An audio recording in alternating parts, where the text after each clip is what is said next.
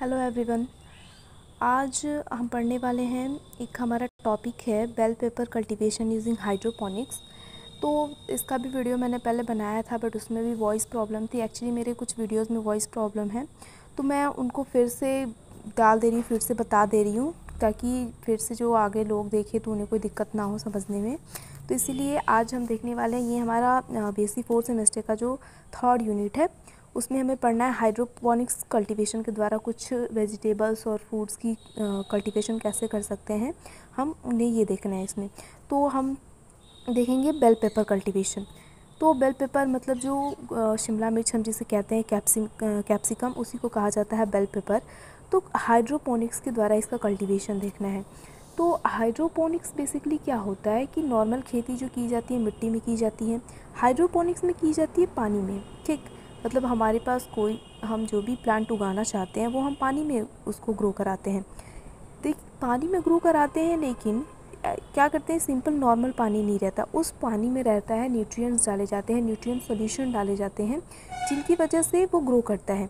अब नॉर्मल पानी में आप ग्रो करा देंगे तो क्या ही ग्रो करेगा? वो कुछ उसको चाहिए तो ग्रो करने के लिए मिट्टी में भी न्यूट्रिएंट्स मौजूद होते हैं ना। तो वो सारी न्यूट्रिएंट्स पानी में डाली जाती हैं, जिसकी वजह से वो ग्रो करता है। हाइड्रोपोनिक्स का जो बेसिक है वो और भी हमने जो पढ़ा है तो उसमें जाना इस वीडियो में भी मैं बता दे रही हूँ, जैसे क्या होता है एक चीज़ कि हाइड्रोपोनिक सिस्टम होते हैं हमारे पास। मान लीजिए कोई भी सिंपली ये बता रही मान लीजिए ये कोई कंटेनर है, ये हाइड्रोपोनिक सिस्टम है मतलब इसमें पानी है और हाइड्रोपोनिक सिस्टम जो भी है, ठीक? कई सारे हाइड्रोपोनिक सिस्टम भी होते हैं इसमें मतलब इसमें पानी है और न्यूट्रिएंट सॉल्यूशन है, ठीक? अब इसको थोड़ा साइड रख दीजिए। अब क्या किया जाता है? हाइड्रोपोनिक जब कल्टीवेशन करते हैं तो हमारे पास कुछ ऐसे प्लांट्स होते हैं जिन्हें हम डायरेक्टली इसी हाइड्रोपोनिक्स में मतलब हमने कोई नर्सरी से प्लांट लाया मतलब सीडलिंग लाया, कोई भी प्लांट लाया स्टेम लाया स्टेम कटिंग कुछ भी लाया और इसी हाइड्रोपोनिक सिस्टम में डायरेक्टली हम इसको ग्रो करा देते हैं, डाल देते हैं। लेकिन मोस्टली हमारे पास ऐसे प्लांट्स होते हैं, जब हम हाइड्रोपोनिक्स के द्वारा कल्टीवेशन करते हैं तो सबसे पहले हमें क्या करना होता है ना, एक ग्रोइंग मीडियम में उसे ग्रो कराना पड़ता है। एग्ज़ाम्पल के लिए समझिए कि मान लीजिए हम कोई भी प्लांट है आ, हम उसको ग्रो कराना चाहते हैं हाइड्रोपोनिक सिस्टम में ठीक? हम मतलब पानी से उसको कल्टीवेट करना चाहते हैं ग्रो करना चाहते तो सबसे पहले तो हमें क्या करना होगा ना कि हमें मान लीजिए ये हमारा सीड है ठीक? समझिएगा इसको सीड है। अब इस सीड को एक ग्रोइंग मीडियम में सबसे पहले ग्रो कराना पड़ता है। ग्रोइंग मीडियम क्या होता है? ग्रोइंग मीडियम होता है कुछ ऑर्गेनिक और इनऑर्गेनिक सब्सटेंसेस का कह सकते हैं कि एक कलेक्शन होता है। ये वाली जो टोमेटो कल्टीवेशन वाला जो वीडियो है, उसमें मैंने बताया हुआ है, जैसे कोको कॉयर हो गया वर्मिकुलेट हो गया परलाइट हो गया रॉकबुल हो गए, ये सारी चीज़ें ग्रोइंग मीडियम में होती है, ठीक? तो ये जो हमारा सीड था ना, पहले एक हम उसमें ट्रे लेंगे, कुछ भी नहीं मतलब ऐसा कंटेनर लेंगे, उसमें हम ये सारी जो ग्रोइंग मीडियम होता है कोको कॉयर हो गया परलाइट वर्मिकुलेट ये सब डालेंगे और इसमें अपना सीड डाल देंगे। कुछ हफ्तों बाद ये सीड है जो, वो स्प्राइट स्प्राउट कर जाएगा और सीडलिंग बन जाएगा, ठीक? तो सीड जब ये ग्रोइंग मीडियम में आने के बाद सीडलिंग बन गया है, अब इसके बाद हम इसको हाइड्रोपोनिक सिस्टम में ट्रांसफ़र कर देते हैं, ठीक? तो ये बेसिक है हाइड्रोपोनिक सिस्टम का, ठीक? एक वीडियो पे कमेंट आया था कि शिफ्टिंग हम लोग कहाँ से कर रहे हैं? तो यही बात है, हम जब हाइड्रोपोनिक कल्टीवेशन कराते हैं तो क्या करते हैं हम सबसे पहले, एक ग्रोइंग मीडियम में उस चीज़ को ग्रो कराना पड़ता है। मतलब हमने सीड लिया हुआ है तो सबसे पहले इसको ग्रोइंग मीडियम में हम ग्रो करा देंगे, ताकि वो स्प्राउट आ जाए स्प्राउट हो जाए, उसमें सीडलिंग बन जाए। उसके बाद हम इसको ट्रांसफ़र कर देते हैं हाइड्रोपोनिक सिस्टम में। तो आप देखते हैं कि बेल पेपर जो हमारा कैप्सिकम है, इसकी हाइड्रोपोनिक्स में कैसे कल्टीवेशन की जाती है, ठीक? तो इस कैप्सिकम का जो बोटेनिकल नेम होता है, वो कैप्सिकम एनम होता है और ये सोलेनेसी फैमिली से बिलोंग करता है, ठीक?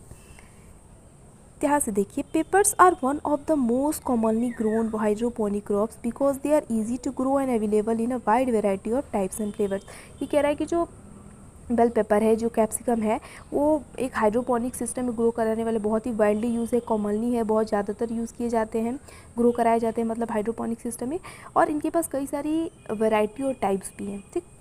अब प्रोसीजर देखते हैं कि कैसे ग्रो कराया जाता है बेल पेपर को। तो प्रोसीजर में सबसे पहले तो हम क्या करेंगे? चूजिंग द प्रॉपर वेराइटी देखिए, कई सारी वेराइटी हो और कंडीशन के हिसाब से वो वेराइटी ग्रो कर सकती है। अब हमें हाइड्रोपोनिक्स में ग्रो कराना चाहते हैं नॉर्मल खेती तो हम कर नहीं रहे हैं तो उसके लिए हमें ऐसी वेराइटी चूज़ करनी पड़ेगी जो उसके लिए सुटेबल हो, ठीक? तो the pepper variety ones chooses depend on the climate where it is cultivated तो सबसे पहले बात तो ये आ गई, जो भी कैप्सिकम की जो बेल पेपर की वैरायटी कोई भी चूज़ कर रहा है हाइड्रोपोनिक कल्टीवेशन के लिए तो सबसे पहले इस बात पे वो डिपेंड करेगी। इस हिसाब से उसे चूज़ करना पड़ेगा कि वो किस कल्टीवेशन में सॉरी किस क्लाइमेट में वो ग्रो कराना चाहता है, ठीक? There are a number of bell pepper varieties grown hydroponically हमारे पास जो हाइड्रोपोनिक्स के द्वारा बेल पेपर की कल्टीवेशन करने के लिए कई सारी वेराइटीज़ अभी यहाँ पे हमने बात की कि कई सारे फ्लेवर और वेराइटी में आती हैं। कुछ जैसे, कुछ कॉमन है, जैसे Anaheim pepper brown pepper blue pepper habanero cayenne jalapeno pepper etcetera ये सारी कुछ वैरायटी हैं जो ग्रो कराया जाता है, ठीक? तो ये प्रोसीजर में सबसे पहले हम क्या करेंगे कि प्रॉपर वेराइटी चूज़ करेंगे हमारे कल्टिवेशन के हिसाब से क्लाइमेट के हिसाब से। अब second is selecting the growing medium अभी हमने बात की कि हमने वैरायटी चूज़ कर लिया ना कि हाँ हमें ये ग्रो ग्रो कराना है। तो अब हम ग्रोइंग मीडियम चूज़ करेंगे। कोको कॉयर और वर्मिक्यूट वाला जो चीज़ है ब्लेंड है या किसी में हम ग्रो कराएँगे तो हमें ग्रोइंग मीडियम सेलेक्ट करना पड़ेगा। तो a right growing medium is essential for successful hydroponic pepper cultivation मतलब प्रोडक्शन एक बहुत, जो राइट एक सही, जो ग्रोइंग मीडियम है, वो बहुत ज़रूरी होता है एक सक्सेसफुल कल्टीवेशन के लिए. And for this the medium should provide good drainage and aeration और जब हम hydroponics sorry bell pepper cultivation की बात करते हैं तो जब हम ग्रोइंग मीडियम चूज़ करते हैं तो ऐसा मीडियम हम चूज़ करेंगे जिसमें ड्रेनेज बहुत बढ़िया से हो एरेशन बढ़िया से हो. मतलब पानी की मात्रा उसमें बढ़िया हो आए भी और ड्रेन भी हो जाए वो वहाँ से चला भी जाए उसमें सॉगी नहीं होना चाहिए। कह सकते हैं कि आ, पानी नहीं लगना चाहिए उसमें। ऐसा सिस्टम हो कि पानी उसमें रिटेन भी हो सके और ड्रेन आउट भी हो सके ठीक? One of the best option for hydroponic pepper is using a soil mix made up of peat moss vermiculite and perlite इन सारी चीज़ों से हम चीज़ों में हम ग्रोइंग मीडियम के तौर पर यूज़ कर सकते हैं कैप्सिकम की बिल पेपर की कल्टिवेशन करने के लिए ठीक? थर्ड हम क्या करेंगे? थर्ड स्टेप क्या होता है? सेलेक्टिंग द न्यूट्रिएंट सॉल्यूशन अब हम न्यूट्रिएंट सॉल्यूशन डालेंगे। न्यूट्रिएंट सॉल्यूशन क्या है? जब वो हमारा पानी होता है ना, पानी में हम अल्टीमेटली ग्रोइंग मीडियम के बाद तो हम पानी में ही उसको हाइड्रोपोनिक सिस्टम में ही हम करने वाले हैं ट्रांसफ़र तो न्यूट्रिएंट सॉल्यूशन उस पानी में न्यूट्रिएंट सॉल्यूशन डाले जाते हैं, ठीक? तो न्यूट्रिएंट सॉल्यूशन भी हम सेट करेंगे सेलेक्ट करेंगे। तो there are different types of nutrient solution हमारे पास कई तरह के न्यूट्रिएंट सॉल्यूशन है सिंथेटिक ऑर्गेनिक और मिनरल तीन तरह के हैं न्यूट्रिएंट सॉल्यूशन सिंथेटिक सॉल्यूशन क्या होते हैं? Synthetic solutions are made from inorganic chemicals and are most common type जैसा कि नाम से ही पता है तो ये इनऑर्गेनिक केमिकल से बनाए जाते हैं और सबसे कॉमन टाइप के यही हैं। Organic solutions are made from organic matter such as compost या मेन्यूर ऑर्गेनिक सॉल्यूशन क्या होते हैं? कंपोस्ट या मैन्यूर से बनाए जाते हैं। Mineral solution is made from natural occurring elements और कंपाउंड मिनरल सॉल्यूशन जो नेचर में अकर होते हैं, कि मिनरल्स हैं कंपाउंड्स हैं। उनके द्वारा जब न्यूट्रिएंट सॉल्यूशन बनाया जाता है तो उन्हें मिनरल सॉल्यूशन कहते हैं। तो ये तीन तरह के न्यूट्रिएंट सॉल्यूशन यूज़ किए जाते हैं। Solutions can be chosen depending on the variety of pepper और ये सॉल्यूशन भी कौन सी वैरायटी हम यूज़ कर रहे हैं, इस बात पर डिपेंड करेगा। अब फोर्थ स्टेप है setting setting of the hydroponic system अब हम न्यूट्रिएंट सॉल्यूशन हमने चूज़ कर लिया, अब न्यूट्रिएंट हाइड्रोपोनिक सिस्टम हम सेट कर देंगे। तो in order to set up a hydroponic system following items are needed एक हाइड्रोपोनिक सिस्टम को सेट करने के लिए हमें इन चीज़ों की ज़रूरत होती है। सबसे पहले तो एक हाइड्रोपोनिक सिस्टम ही चाहिए, फिर दूसरा ग्रोइंग मीडियम चाहिए, तभी तो हम ग्रो करा पाएँगे, इससे शिफ्ट करेंगे। वाटर पंप चाहिए पानी के लिए पीपर सीड्स चाहिए, हम सीड से ग्रो कराएँगे। पी टेस्ट की चाहिए उस पानी की, उस वाटर की पीएच को मेनटेन करने के लिए, ठीक? न्यूट्रिएंट सॉल्यूशन चाहिए, तभी हम उसमें ग्रो हो पाएगा।